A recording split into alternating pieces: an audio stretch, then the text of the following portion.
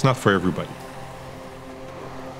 You got to be made for this. It's got to be in your DNA.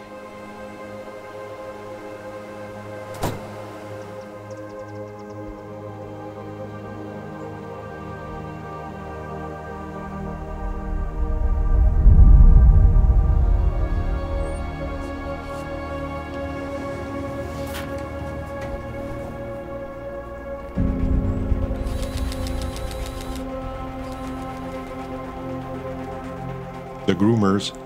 They're huge, they work hard, and they need a lot of love and maintenance.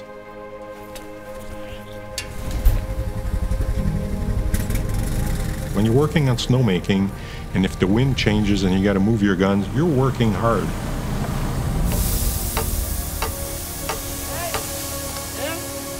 If the wind switch, then it gets a little trickier. So they have to take portable guns, bring them in the middle of the run so that you can make snow on the other side. And with the groomers, you can push the snow and set the run. And then they'll go again and groom it.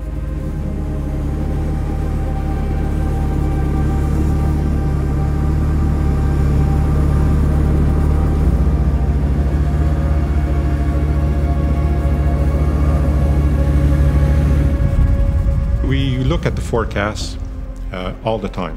What's the weather forecast? How strong will the winds be? What directions are the wind coming from?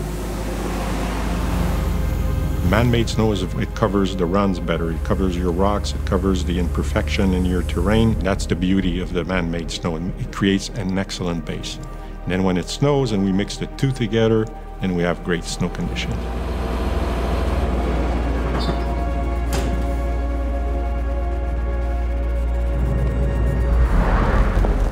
One of our strengths is our mountain operation uh, manager is a skier, is an ex-racer, a skier himself. I'm a skier, and most of our, our staff skis, so we know what skiers like. We know what we like to ski on.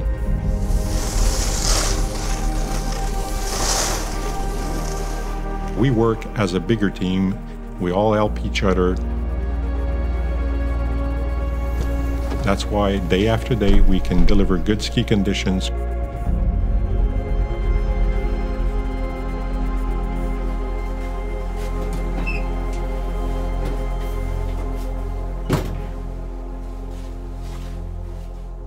The team is strong, so very proud of it.